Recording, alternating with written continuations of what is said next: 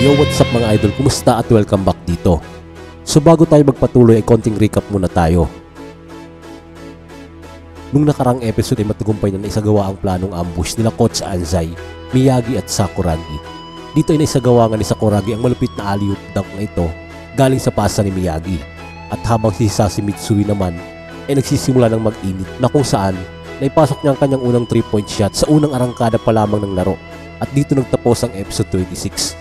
Ngayon mga idol ay salang na natin ang episode 27 ng Slam Dunk Inter High.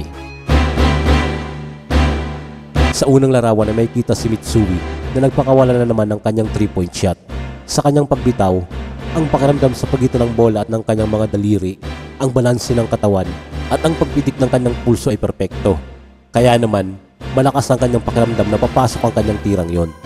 At ayun na nga, sa pagpasok ng tirang yon ay talaga namang nagulat ang kupunan ng Sano at maging ang kupunan ng Shohoku. Astig nun, Michi. Nagmana ka talaga sa henyong ito. Ang sabi ni Sakuragi na talaga namang namangha kay Mitsui. Mahigit sa isang minuto pa lang ang nakalipas, ang score ay 8-4 at lamang ng apat na puntos ang Shohoku. Makikita ang tropa ni Mitsui na talaga namang tuwang-tuwa dahil sa ganda ng laro na ipinapakita nito. Ang galing Michi Boy! Isa na namang pamatay na 3-pointer. Yan ang pasigaw na sabi ng mga ito. Andyan na sila. Depensa tayo dali. Ang pasigaw na sabi ni Mitsui habang nagmamadali itong tumatakbo pababa para dumepensa. Habang si Ichinokura ay napapatingin na lang sa pagiging agresibo ni Mitsui. Sa kabilang dako, nasabi na lang ni Coach Domoto na, Hmm, hindi pala kay Akagi o kay Rukawa nakataon ang kanilang opensa ngayon. Nakalimutan ko nga pala na isang MVP type player itong si Sasi Mitsui. Nang bigla itong lumingon kay Coach Anzai at nasabi niya na ang noon na binansagang white-haired devil na si Coach Anzai kahit siya na ngayon ang tinatawag ng white-haired Buddha, hindi pa rin dapat siya malitin. Dito ay biglang sumigaw si Ayoko at Kogure at sabay sabi na, Bantayan niyo silang maigi, depensa mga kasama. Sa larawang ito ay may kita na hawak ni Sawakita ang bola at binabantayan ito ng mahigpit ni Rokawa. Maririnig ang mga manonood na talaga namang naghihiyawan pagkahawak pa lang ng bola ni Sawakita. Habang si Sakuragi ay tila walang ideya sa mga nangyayari. Hindi ako makapaniwala. Ang walang kwentang na to ay ace nila habang si Miyagi ay may kitang nahihirapan sa depensa ni Fukatsu dahil sa height advantage nito. Nasabi na lang ni Miyagi na, kaasarang isang to. Siya na naman. At nang biglang ipinasa ni Sawakita ang bola kay Fukatsu. At pagkasalo ng bola ni Fukatsu, ay agad itong naghanda para postean si Miyagi. Dito ay nasabi ni Akagi sa kanyang isip na, Ano? Balak nang gamitin ang kanyang tangkad laban kay Miyagi. Hindi ako makakapayag sa gagawin mo. Makikita ang pagtalon ni Fukatsu na akmang ititira ang bola at agad naman itong sinabayan ng help defense ni Akagi mula sa likuran ni Miyagi. Sa pagkakataong yon, nakita ni Fukatsu na walang nagbabantay kay Masashi kaya naman agad niyang ipinasa ang bola dito na talaga namang ikinagulat ni Akagi pati na rin ng iba pang malalaro ng Shohoku. Dahil isang easy layup at siya rin unang puntos para kay Masashi. Biglang sigawan ng mga manonood. Nice one! Ang astig mo talaga Masashi! Napakagaling mo Fukatsu! Napakahusay talaga ng play niyong dalawa. Patuloy pa din ang usapan ng mga tagahanga ng Sano. Yan si Fukatsu. Hindi niya talaga ako binibigo sa bawat laro. At hindi talaga sayang ang pinunta ko dito. Pinapakita na ng Sano ang kanilang totoong lakas. Habang ang bench ng Sano ay patuloy pa rin sa pag-cheer sa kanilang starting unit. Sabi pa nila dito na, Mga kasama, depensa lang kayo. Bantayan mo ng maigi ang number 40 na 3-pointer nila, Ichinokura. Sagot naman ni Ichinokura, Okay, ako nang bahala sa kanya. Dito ay may kitang agad ay pinasa ni Akagi ang bola kay Mitsui at dali-dali naman itong binantayan ng mahigpit ni Ichinokura at sabay sabi niya na nasa kanya na naman ang bola. Ngayon, pipigilan kita.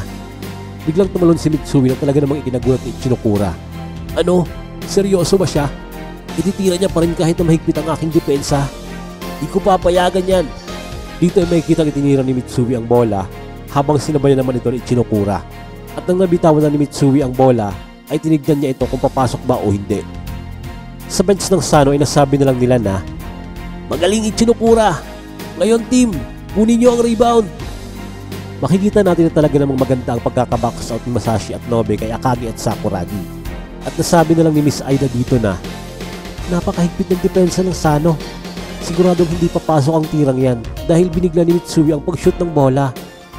Habang sa bench ng Shohoku ay biglang napatayo si Kogore dahil na nga sa pumasok ang quick release sa tirang yon ni Mitsui. Makikitang sobrang namangha at natuwa ang ibang miyembro ng Shohoku at pati na rin si Coach Anzai. Bakas din sa mukha ni Miss Aida ang pagkagulat dahil lang nga hindi siya makapaniwala na naipasok ang tirang yun ni Mitsui. Maging sina Akagi, Sakuragi, Miyagi at Rukawa ay talaga namang namanga sa tirang yon. Wow! Sino yung number 14 na yon? Hindi ko inaasahan na ganito pala siya kahusay mag-shoot ng bola. Biro mo, tatlong 3-pointer na sunod-sunod ang ginawa niya.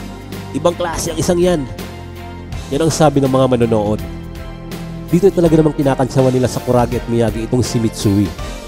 Sa tingin ko, hindi na tsamba ang mga tirang na ipasok mo, Michi.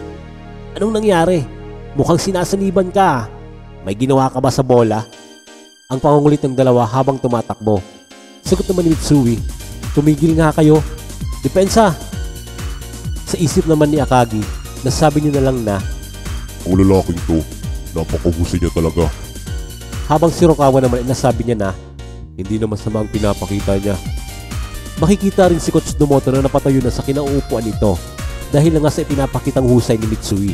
Nasabi niya lang na tiwalang tiwala ang number 40 na yan sa kanyang 3-point shooting. Kapag nakuha niya na ang bola, ay agad niyang isushoot ito. Hindi mo lang siya nag-aalinlangan. Habang ang mga manonood ay patuloy pa rin sa pagkamangha sa ipinapakitang laro ng Shohoku. Ang tuli na! Napakabilis ng ritmo ng laro nila. Nagagawa pa rin niya ang mga yan kahit ganito ang sitwasyon.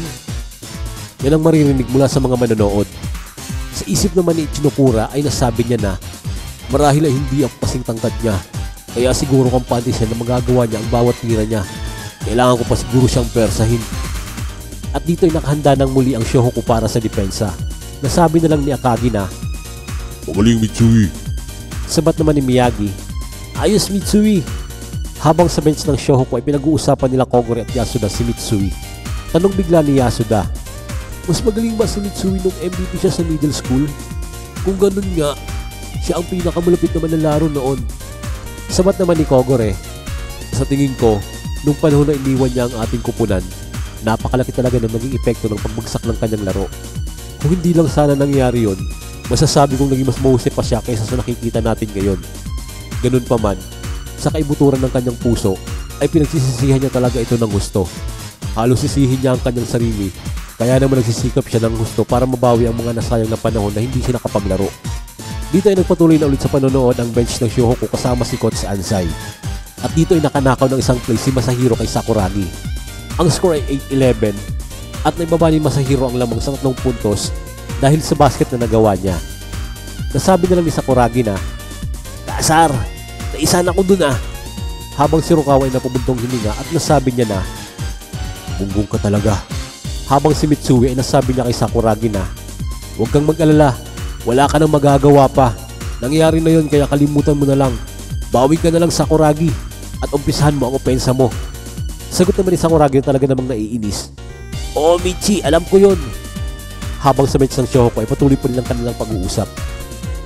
Si Mitsui, hindi man lang niya naunawaan kung gaano siya kaimportante sa kupunan natin.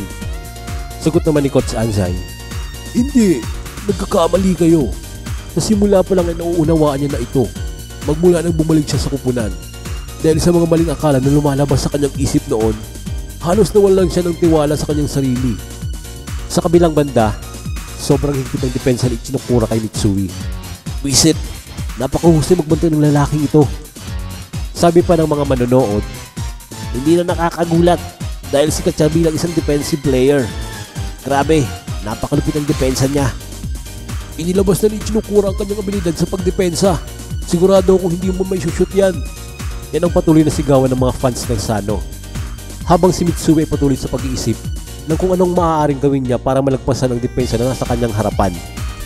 Dito ay nasabi ni Coach Ansay na, Gayong pa man, oras na para makatagpo siya ng panibagong kumpiyansa para sa kanyang sarili. Makikita nagsimula ng kumilos si Mitsui at pagka-dribble niya ng bola ay nalagpasan niya ang depensa ni Ichinokura. Pagkatapos ay agad naman siyang sinalubong ni Masashi para pigilan ang momentum na meron siya. At nasabi na lang dito ni Coach Anzai na, Sa nakikita ko kay Mitsui ngayon, sigurado akong nalagpasan niya na kung ano talaga ang hangarin niya. At dito ay pinasa ni Mitsui ang bola kay Akagi na talaga namang ikinagulat ni Masashi.